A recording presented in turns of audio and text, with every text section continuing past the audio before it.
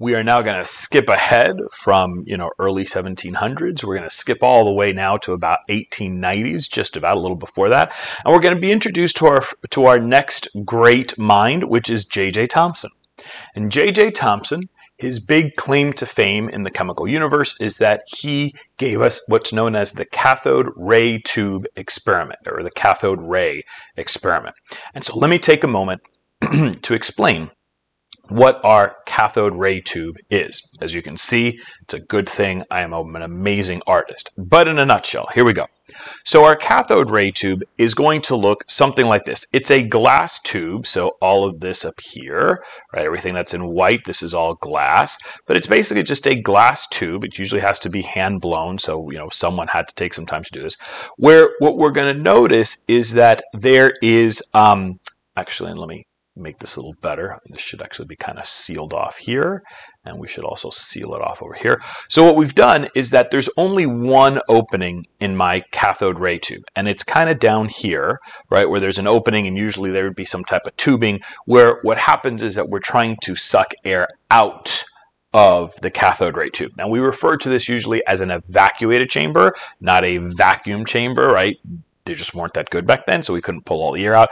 But it's a chamber that has as little matter as possible. We're trying to pull air out of it.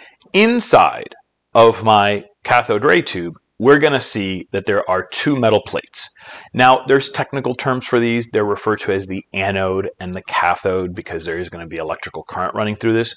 For now, we're not concerned. We can just say that we have a metal plate over here on the left metal plate number one, and then we have a metal plate over here on the right. Okay, so these are our metal plates. And finally, the last thing that our cathode ray tube is going to need is it's going to require a little bit of juice. It's going to need some type of electrical input. This could be from a battery, it could be from an outlet, whatever it is, but we do have to run electrical current. Now, I'm not going to get into how we complete the circuit and any of that stuff right now, but what you just want to understand is that in theory, in this cathode ray tube, electrical current is coming this way, right, over here from the left, and electrical current is leaving whoop, that way over there from the right. So we have electrical current input and some electrical current that is leaving. So as long as you have that awareness, we should be in good shape. Now, how did my cathode ray tube work? Well, what happened is that as scientists started to play with this electrical current, they started to ask the question, as you may have thought, well, what exactly is electricity? And so they, they knew it was negatively charged current, electrical current, but they couldn't break it down further. They didn't know exactly where it came from.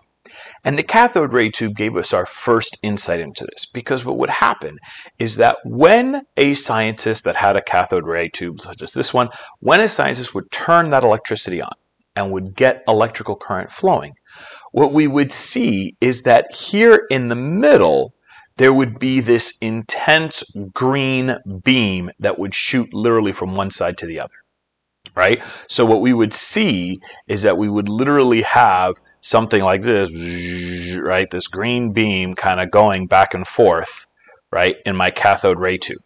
And what was interesting about this was that the more matter we put into it, so if let's say we didn't evacuate the chamber, then you could barely see the green beam, right? The better we did at kind of removing matter from the chamber, then the brighter the beam would get. And so scientists were baffled by that because, well, where exactly is that green beam coming from? What is it?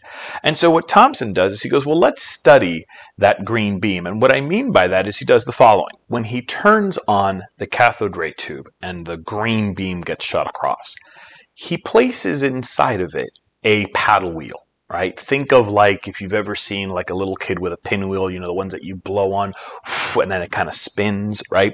So he takes and he places this paddle wheel inside of the cathode ray tube. And when he does that, lo and behold, he sees that the paddle wheel begins to spin, right?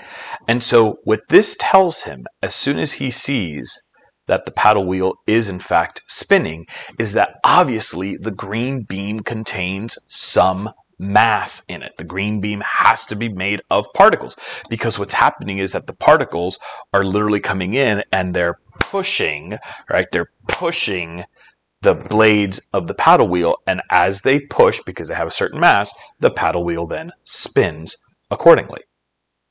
So this is the first major uh, breakthrough, because now what Thomson realizes is that, well, obviously there are particles that are entering the chamber that were not in the chamber originally, especially if I pulled them all out.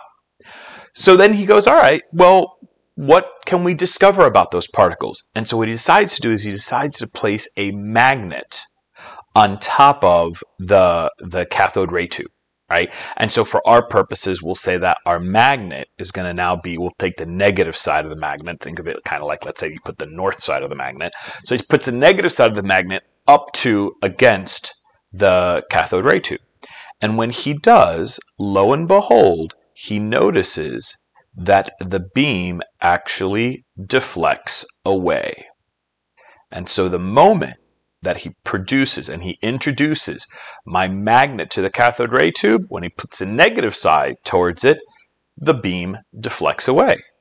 And if he happens to change the magnet's position, swap, uh, swap it around, and he puts the positive side, or let's say the, the north side of the magnet, or south side of the magnet rather, against the glass, what he then realizes is that now he sees that the green beam actually deflects towards it. And again, I would suggest, as amazing as these uh, brilliant artistic renditions are, I would suggest you actually Google and look up some of this video because it's really neat to see it in real time. You're like, you know, the first time you'll see it, you'll kind of be dumbfounded, as I imagine scientists back in the 1800s were. And so what Thomson realizes, whether he meant to or not, is that he has discovered these particles inside of an evacuated chamber that seem to be negatively charged. And so he wonders, well, where did these negative particles come from? Because there don't seem to be any positive particles, right? If there were positive particles, then when he had the magnet up, as we see here, we would see that the that the the sum of the the beam is deflecting away. But no, they are only negative particles. And so what he starts to realize is that the only negative particles or the only negative input that he was putting to this whole thing was back over here where he had his electrical current. And so when he starts to think about it, he says, well, what if we started to load up these plates with all of these negative particles? So a negative particle, negative particle, negative particle, negative particle, negative particle. If I loaded it up with enough negative particles, then at some point they're going to repel each other and they're going to literally boop, jump to the other side. And so that's what he realizes that the green beam must represent. It's got to be these negatively charged particles. But then he goes, well, I get that they were in the current. I was pushing something along through the current. But at some point, those particles leapt from metal plate to the other metal plate. And so after much, you know, thinking about it and doing a lot of calculation, what Thomson realizes is that our model of the atom, how Dalton has theorized that it's indivisible, is actually incorrect. And so what he says is he goes, look, it's not that when we look at an atom, we see this perfect little sphere. Instead, what he says, is all of this purple stuff represents the positive area. And within that positive area, there are these negatively charged particles, which he refers to as electrons. And so what he says is that there is something smaller than an atom there are subatomic particles, and he is the first person to discover the presence of the electron.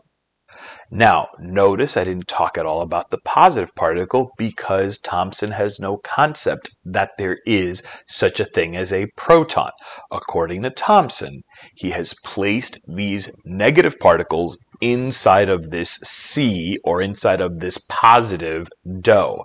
And I use the word dough right? D O U G H, because according to Thomson, he named this model of the atom the plum pudding model of the atom. Now, plum pudding is a British dish. It's a yummy dessert, I guess. Don't know. But that was his wheelhouse. Instead, what I usually refer to it, and when I see it, is that, and this makes more sense to me, I see this as the chocolate chip cookie model, where imagine all of the electrons are the actual individual chocolate chips, and then you have the, the purple is the positive dough that the electrons are floating in.